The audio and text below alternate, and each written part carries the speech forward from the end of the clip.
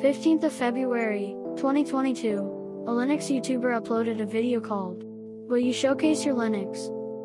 And asked people to create a video about their Linux workspaces. favor okay so you have to make a video record and if you're new to linux if you're learning stuff and if you're getting inspired to just use terminal and free software and you just want to showcase it to people Within a few hours, a lot people willing to participate. So, hi guys, uh, this video is for BugsWriter. So, my name is Sometimes Anurag I'll Kumar Singh. disconnect it and then reconnect it, so I don't want to. And of course I am, is one of them.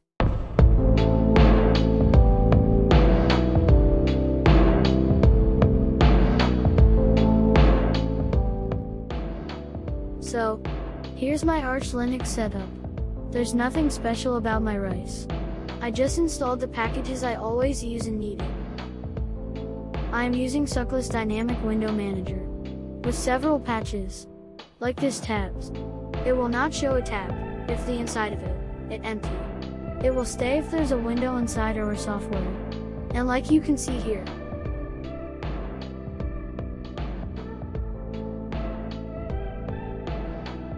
And also you can see here. There no title even in focus on a window. I removed it with a patch because it seems pretty annoying or maybe it will make a bit cleaner. And also I'm using ST Suckless Terminal Emulator. It's very minimal and lightweight. I'm using HTOP. I switched from VTOP because it's not working on small sized windows. And I use Micro as my text editor. It's very easy to use. And the experience is like you are using Vim and Nano at the same time.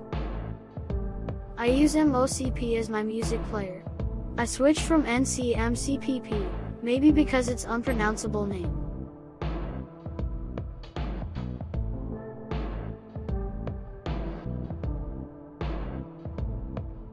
I am using dmenu as my app launcher, and using it in some of the script I use, like power menu to shut down and restart and also to put to sleep my laptop.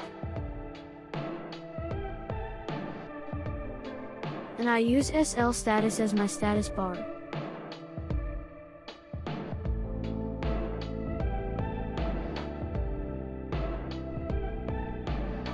And here's some of the config I use and modified.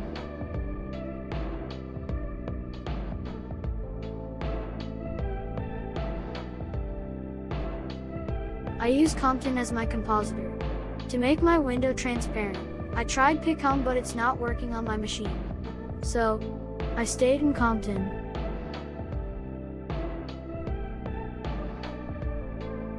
And I am using qutebrowser to browse on internet. And that's pretty much it. I hope you enjoyed this video.